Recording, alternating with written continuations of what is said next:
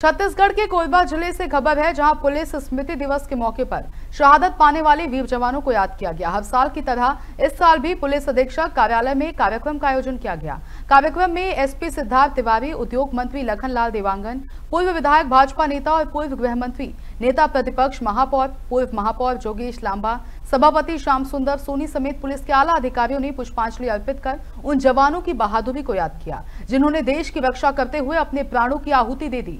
कार्यक्रम में शहीद हुए पुलिस जवानों के परिजनों को भी सम्मानित किया गया। बता दें कि 21 अक्टूबर पूरे देश में पुलिस स्मृति दिवस के रूप में मनाया जाता है।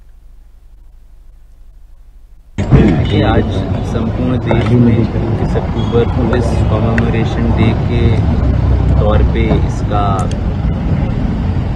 आयोजन किया जाता है। और पिछले एक वर्ष में जितने भी हमारे शहीद हुए हैं, विभिन्न सुरक्षा बलों जैसे कि पुलिस, सभी राज्यों की पुलिस और जो सी ए पी एफ़ है सेंट्रल आर्म पुलिस फोर्सेस हैं, उनमें जिन भी अधिकारियों ने, कर्मचारियों ने अपना सर्वोच्च बलिदान दिया है, उन सबके नामों का वाचन भी किया जाता है।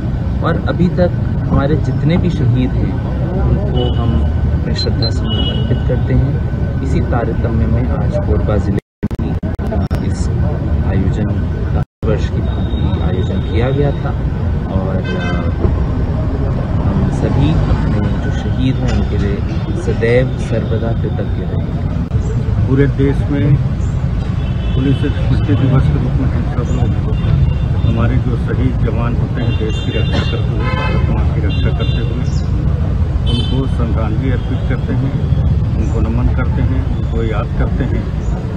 हम सबकी रक्षा करते हुए, देश की रक्षा करते हुए, वो अपने जीवन का बलिदान दिए, ऐसे महान सपूतों को हम सबका कर्तव्य है कि हम उनका नमन करें।